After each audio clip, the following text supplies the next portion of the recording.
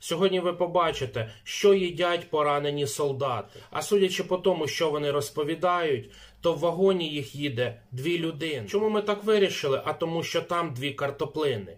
Так, так, друзі, навіть не додумались поставити якийсь тапчанчик для того, щоб зварити військовим елементарно якогось гаряченького супу. І це, друзі, все на фоні того, що мільярдами доларів розкрадається гуманітарна допомога. Ми вже неодноразово про це говорили.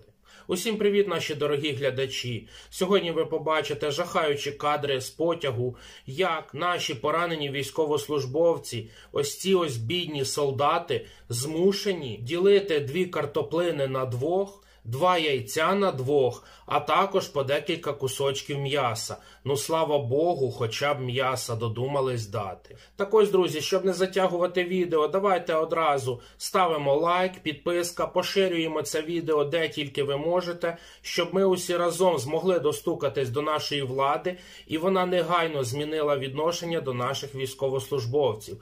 Як мінімум, давали їм нормально їсти. Адже такого жаху терпіти ми точно не будемо. Український народ не для того зараз втрачає найкращих своїх синів, щоб чиновники грабували гуманітарну допомогу, яка надходить нашій державі від західних партнерів. А при цьому наші солдати, ті військовослужбовці, які безпосередньо захищають нас усіх, весь український народ.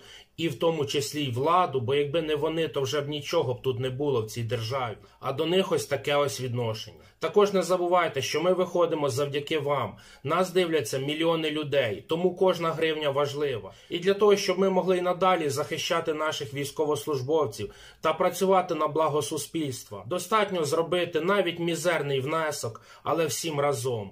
І це вже дуже велика допомога. Реквізити для благодійних внесків, як завжди, є в описі під відео, так і в першому закріпленому коментарі. А тепер до нашого відео. Увага на екран. Вот так вот у нас кормят э, в, в вагоне, ресторане. Короче говоря, э, вот так кормят э, раненых, которых перевозят поездом.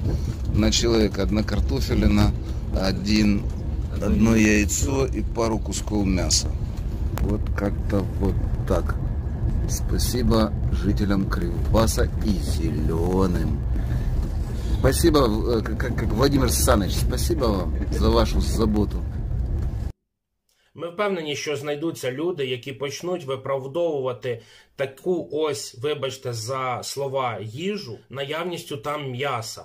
Але ми для цих людей наперед забігаючи, хочемо попросити, щоб ви попробували так похарчуватись без гаряченького, без супчику, без борщику, без кашки. Ось так, ось. Як то кажуть, на суху. Буде дуже цікаво подивитися, як люди будуть ось це все в себе запихати. Адже на столі навіть немає елементарного компоту. Вибачте, дорогі наші глядачі, за відвертість, але якщо ми й надалі будемо так відноситись до наших військовослужбовців і до тих, хто їх захищає, то нашій країні кінець.